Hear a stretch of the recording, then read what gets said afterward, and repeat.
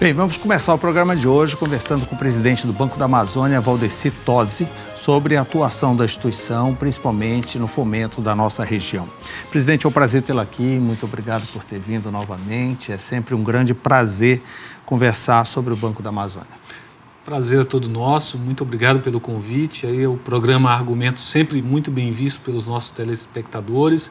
Acho que é um programa que mostra muito a Amazônia, mostra muito o Pará, então é sempre bom a gente participar e dar a nossa opinião, participar aqui mostrando um pouco do Banco da Amazônia, do que a gente tem para a nossa região. Presidente, o senhor estava como interino no cargo, mas agora o senhor foi efetivado. Como é que funcionou esse processo? Processo de governança das estatais melhorou muito com a, a Lei 13303. É uma lei das estatais que definiu basicamente como é que é o processo é, de seleção e de manutenção dos diretores e presidente do banco. Para ter uma ideia, todos os diretores do banco têm um mandato, o mandato é de dois anos, o, banco da, o presidente também.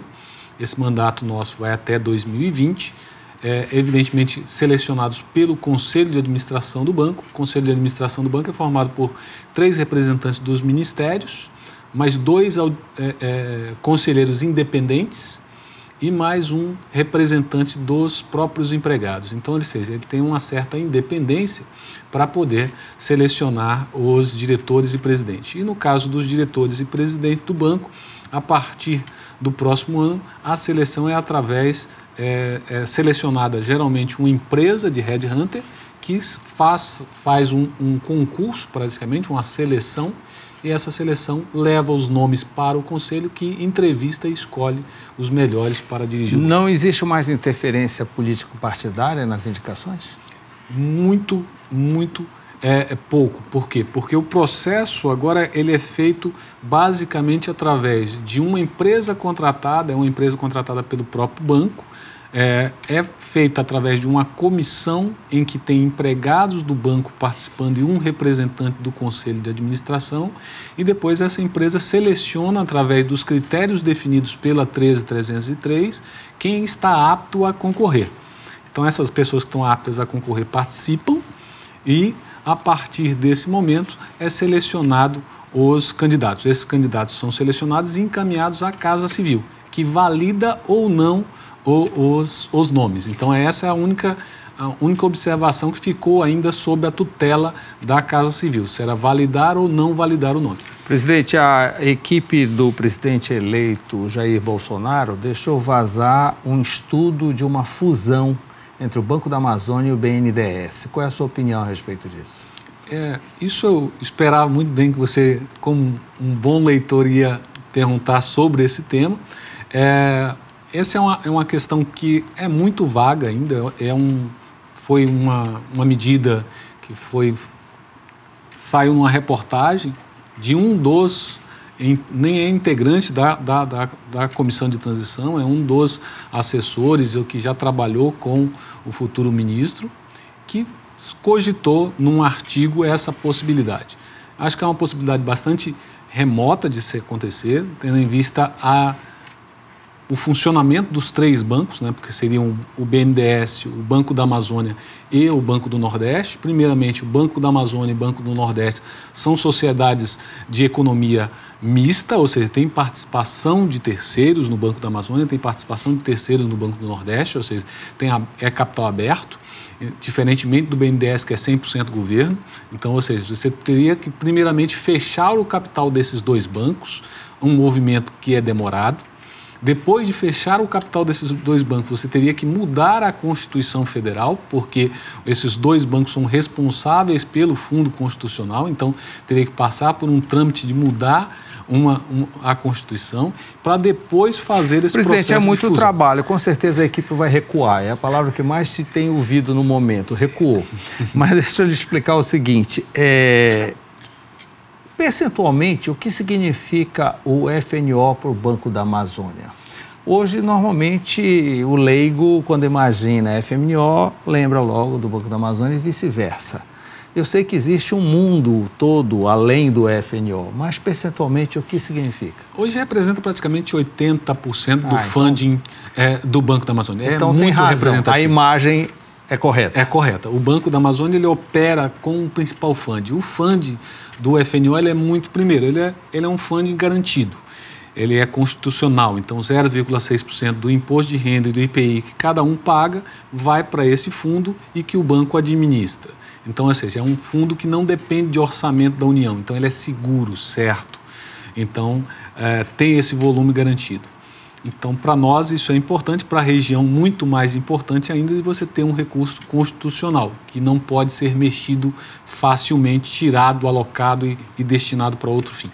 E as outras operações todas do banco representam em torno de 20%? Em torno de 20%, que são operações do FDA, do Fundo de Desenvolvimento da Amazônia, que nós também operamos, e também operamos também com recursos do BNDES e do FAT, só que em em quantidade bem menor, operando principalmente nos estados do Maranhão e do Mato Grosso. Fora os fundos, o banco não tem foco no, no desempenho, na concorrência de mercado normal? O banco ele opera como qualquer um banco comercial. O nosso foco principal é fomento. Não dá para a gente sair de um banco médio, banco, bancos médios no mercado financeiro, ele tem que ter um nicho de mercado.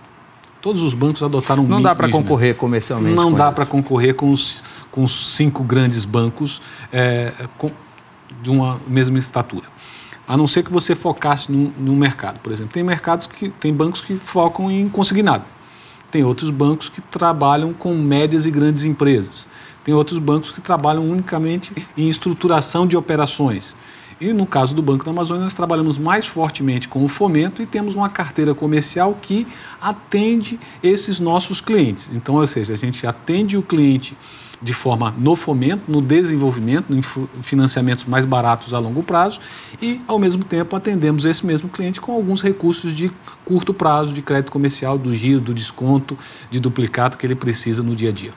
Os 4, mil, 4 bilhões e um pouquinho do orçamento do FNO de 2018 foram todos tomados? Até Sobrou o... alguma coisa? Tudo funcionou legal? Até o momento a gente já aplicou 3,4 bilhões a gente acredita que nesses dois últimos meses do ano, ainda que faltam, no restante de novembro e dezembro, a gente consiga atingir os 4, 4 bilhões e meio de aplicação e chegamos no, no patamar do orçamento.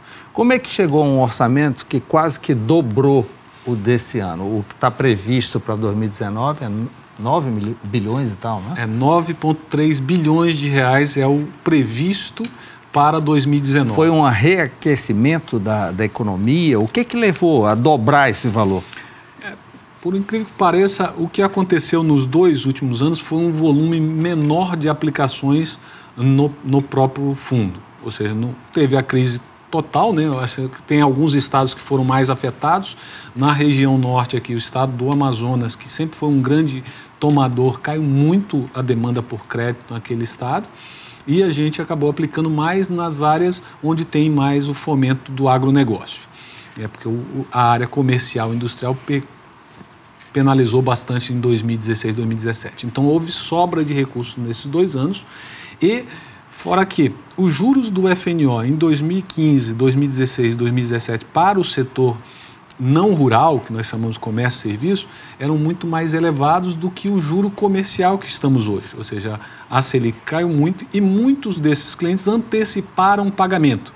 Para ter uma ideia, este ano a nossa previsão de recebimento era em torno de 2 bilhões, a gente está chegando o ano acima de 3 bilhões, 3 bilhões e 500 de recebimento.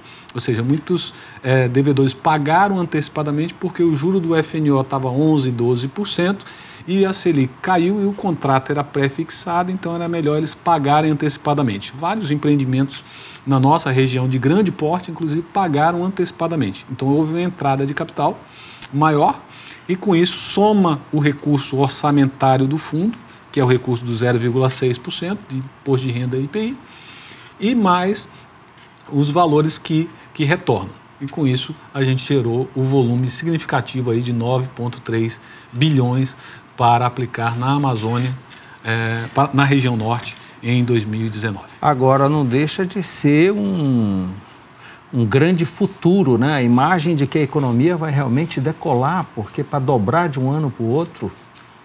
É, eu acho que é extremamente favorável para os governos que estão chegando agora hum. e assumindo seus estados é, e o próprio governo federal, ou seja, você ter um instrumento é, com bastante capital, ou seja, o, Banco do Nordeste, por exemplo, tem um orçamento para o ano que vem de 30 bilhões de, de recursos do FNE.